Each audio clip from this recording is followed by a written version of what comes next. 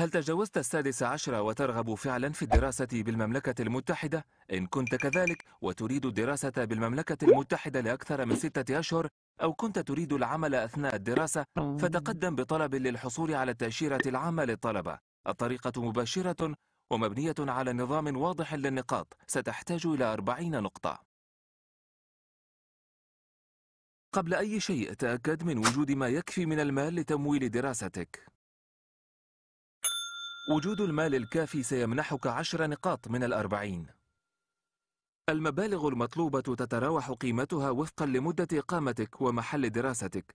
فمدينة لندن أغلى من مناطق أخرى في المملكة المتحدة. لمعرفة المزيد اضغط على علامات الجنيه الاسترليني. عليك أن تثبت توفر هذا المال لديك إما بإرسال كشف حسابي مصرفي أو من مؤسسة رهن عقاري مع استمارتك أو دفتر مؤسسة رهن عقاري أو خطاب من مصرفك أو من مؤسسة مالية نظامية يؤكد توفير المال لدى حصولك على التأشيرة عليك أن تثبت وجود المال بحوزتك 28 يوما على الأقل قبل تقديم الطلب. يمكنك مراسلة عدة مؤسسات في المملكة المتحدة وتلقي عروض من بعضها أو من جميعها ولكن قبل أن تبدأ التقديم تأكد من أن المؤسسة مرخصة من وكالة الحدود البريطانية لرعايتك في البرنامج الدراسي الذي تريده. بإمكانك التعرف على المؤسسات التعليمية المرخصة على هذا الموقع الإلكتروني.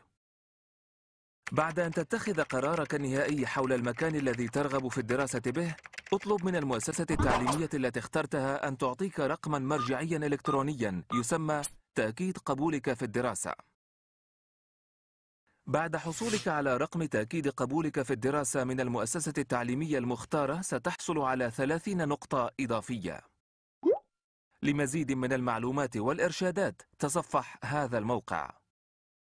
لدى قبولك في الدراسة من قبل مؤسسة مرخصة وحصولك على رقم تأكيد قبولك في الدراسة وتدبير مصاريف الدراسة ستكون مستعدا للتقدم بطلب للحصول على تأشيرة المملكة المتحدة للطلبة. تقدم الطلبات بالبريد الإلكتروني أو البريد أو شخصيا. للتعرف على الاختيارات المتاحة في بلدك تصفح هذا الموقع. يجب أن يشمل طلب التقديم ما يلي رسوم التأشيرة جواز وثيقة سفر سارية تأكيد القبول للدراسة في المؤسسة المرخصة التي ستدرس بها إثبات توفر التمويل اللازم استمارة مكتملة. إضافة إلى ما يفيد حصولك على المؤهلات المناسبة المعتمدة من المؤسسة المرخصة لقبولك في برنامجها الدراسي وأية متطلبات أخرى خاصة ببلدك كالبطاقات الشخصية.